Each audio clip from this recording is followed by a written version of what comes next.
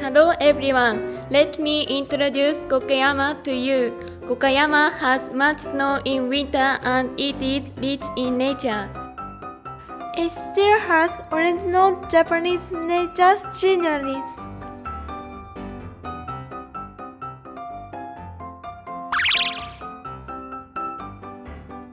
As they have much snow in winter at Gokayama, they have unique houses with roofs which allow snow to slide off the roof easily. They are called gasshozukuri.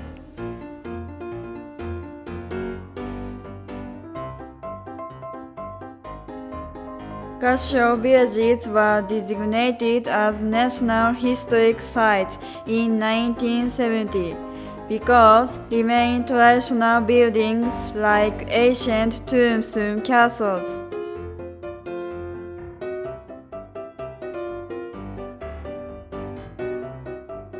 In 1995, they were designated World Heritage Site because they are rare and are admittedly well preserved. This is the sixth in Japan. In Gokayama, gunpowder ingredients, Japanese paper, and silviculture were the main industry, and you can see the memories of the, those days in the village. Knowing about Asian people, wisdom, and skills, one of the attractions of Gokayama.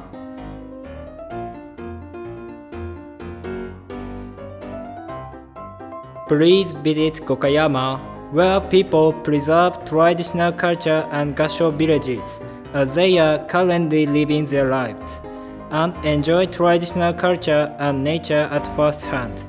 They will make you feel relaxed. Will help you. Thank you.